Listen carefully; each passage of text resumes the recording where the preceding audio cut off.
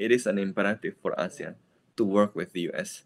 It is an imperative to ASEAN to work with China. It is imperative to ASEAN with, to work with uh, all uh, powers in the uh, region to uh, ensure uh, stability and peace.